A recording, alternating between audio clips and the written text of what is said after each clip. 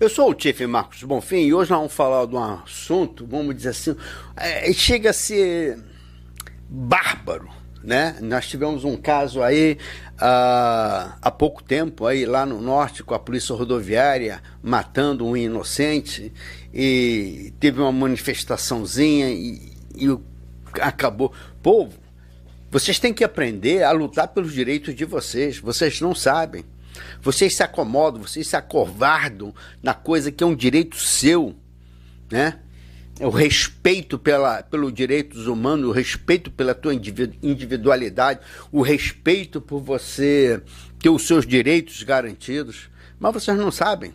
Vocês não sabem. A única maneira que tem é. Lembra da situação do George Floyd? Que o policial ficou, pegou 27 anos de cadeia. No Brasil vai solto, é liberado. É, é, é, uma coisa de louco. Não é à toa que a, a, a Nações Unidas está pedindo o fim da Polícia Militar já há algum tempo. E eu acompanho e apoio o fim da Polícia Militar. Tá demais. Vamos lá, gente. Mas antes de mais nada.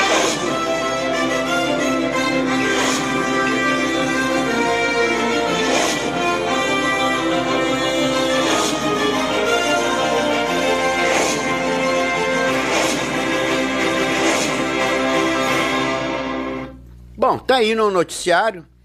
Ah, vocês lembram daquele caso que apareceu no Fantástico? Ah, há dois anos atrás, os policiais pisaram na cabeça dessa senhora de 51 anos. Justiça de São Paulo absolve a polícia, é, PM que pisou no pescoço de mulher negra. Pois é, o racismo continua imperando no. Tanto se fala em racismo, racismo. Eu queria ver ele pisar na cabeça do. do periquito lá da Avan, lá da, de Santa Catarina. Eu queria ver ele fazer isso. Eu queria ver ele fazer isso em Alphaville. Não fazem, são covardes. No entanto, os outros três militares votaram pela absolvação do suspeito. Os acusados foram denunciados pelo Ministério Público por lesão corporal, abuso de autoridade, falsidade ideológica e inobservância de regulamento. É um absurdo, cara. Agora, o porquê, o porquê que a polícia militar trata, faz policiamento para o civil e na hora do julgamento a maioria é militares. Tem militares rabo preso com esses policiais. Tá cheio, está lotado deles. É verdade. A bandidagem dentro da polícia, ela é imensa ela é imensa. Agora, eu só não consigo entender o porquê que o cara comete um crime com civil e é julgado por militar para ser absolvido. Tá na hora de vocês virem para rua protestar e exigir mudança nessa polícia, o fim dessa polícia e uma justiça real.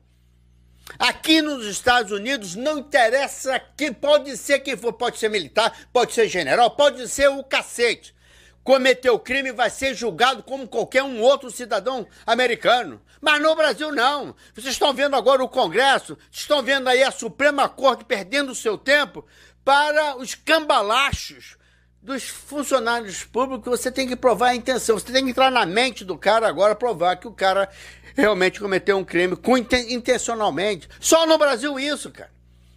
E o pior é que somos nós que colocamos canalhas lá para fazer leis e vocês estão reclamando o tempo todo da injustiça, da corrupção, mas são vocês que colocam lá. Bom, nós, né? Vamos lá. Aprenda o treinamento da Polícia Militar. Adivinha onde dava as brigas? No puteiro. Evandro, você já bateu em muita gente? Já, inclusive nas putas entrava, tomava todo mundo borrachado. Evandro, você era violento na polícia militar? Muito violento. Evandro, você pegou dinheiro? Nunca. Sempre foi honesto pra caramba. Mas porra. Tá aí. Instrutor da polícia militar. Vocês esperam o quê? Vocês esperam o quê? Tá solto. Tá solto. Já mostrei esse vídeo para vocês e de um outro, que eu vou depois mostrar em outro vídeo. Agora, apoiado por quem? Olá, estudantes da Alfacom. Vocês que estão se preparando para esse concurso. É esse cursinho. Federal. Boa sorte, hein? Boa sorte, hein? Não, é Olha. isso. Nós acreditamos em você. Tamo juntos. O ano que vem. vamos É, legal. Valeu. Porrada!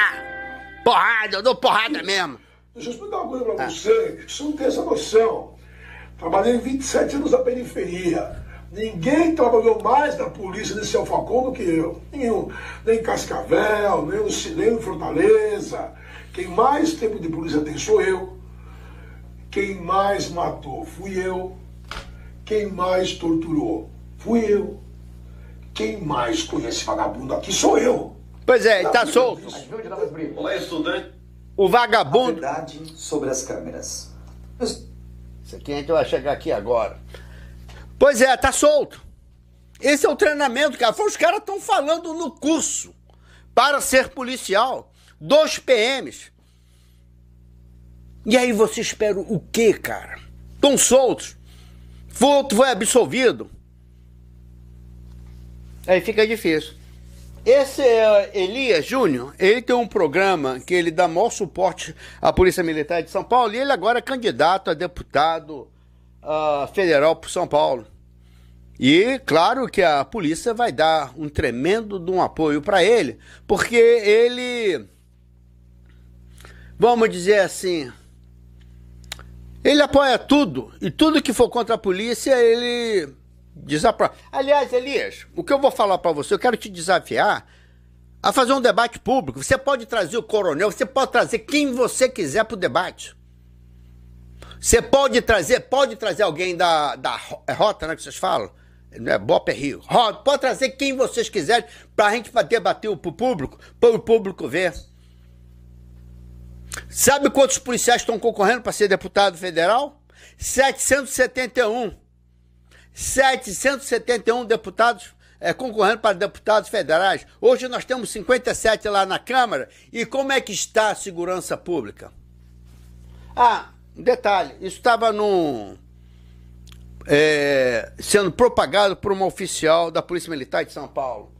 Quer uma polícia de primeiro mundo? Ótimo! Porque nós queremos cidadãos de primeiro mundo também. Cara, que absurdo. Que falta de respeito para com a população. É essa a polícia que vocês têm. Agora, ouça mesmo o que, o que ele fala aqui. O, o, amigos e minhas amigas, como eu, diretor Elia Júnior, que trabalhei a vida inteira com câmeras, posso ser contra o atual uso delas na PM. Ocorre que as câmeras operacionais portáteis, na prática, não favorecem nem o cidadão de bem e nem a atividade das nossas polícias. Bom, ele está em campanha eleitoral e ele aconta as câmaras nos uniformes. Já tivemos resultado em São Paulo com a diminuição de, de homicídio, pessoas mortas pela polícia e espancamento. Ele é a favor contra o uso da câmera. O Estado de São Paulo já gastou milhões e milhões para comprar as câmeras e esse equipamento. Agora, o porquê não usar câmera? Porque aí eles podem dar mais porrada à vontade, podem matar e não tem nada para comprovar contra eles. Os bons policiais querem a câmera. A câmera é extremamente eficaz. É só você perguntar a qualquer policial aqui nos Estados Unidos. Ela serve para mostrar a verdade.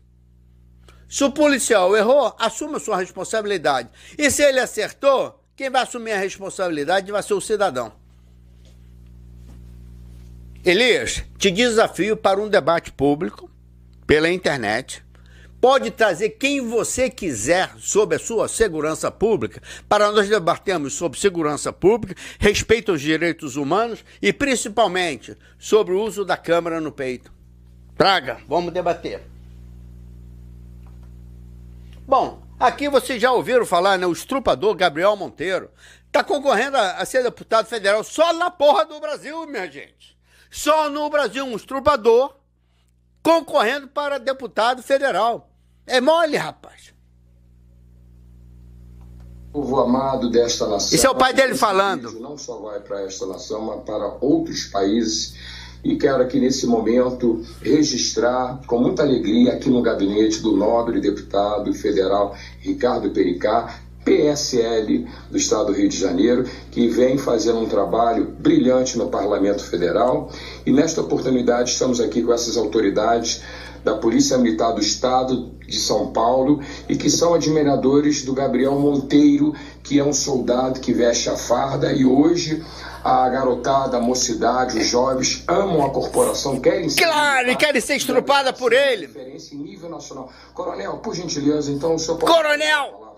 Sim, Roberto. Sim. Roberto é o pai do nosso herói. Ah, que amor. Que nós admiramos, Amém, Gabriel coronel. Monteiro. Amém, coronel. Amém, aleluia. Filho foi herança dada pelo pai. Amém. E nós queremos agradecer e parabenizar o seu trabalho, Gabriel Monteiro, porque você representa, me representa e representa os policiais militares do Brasil. Porque você que tem legal desta nação, esse vídeo. Um coronel falando que o estrupador representa a polícia militar no Brasil. Você vê que falta discernimento de um coronel e o outro é major da Polícia Militar e fala a mesma coisa. Ah, e fala em religiosidade. São cristãos conservadores. Não tem outra jeito, outra maneira, gente. Não tem outra maneira. Dia 2 de outubro, não votem em policiais. Não votem em policiais. Vocês estão votando contra vocês mesmos.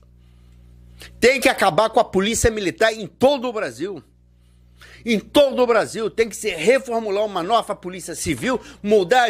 Quer ser policial militar? Vai ser no Exército, vai ser na Aeronáutica, vai ser na Maria, vai ser no raio que esparta. Mas não para civil. É uma coisa de louco, gente. É um coisa. E você, cidadão, você está calado. Vocês têm que se organizar, vir para a rua, exigir mudanças. E não colocar canalhas, safados, corruptos, para representar. A menos que você seja.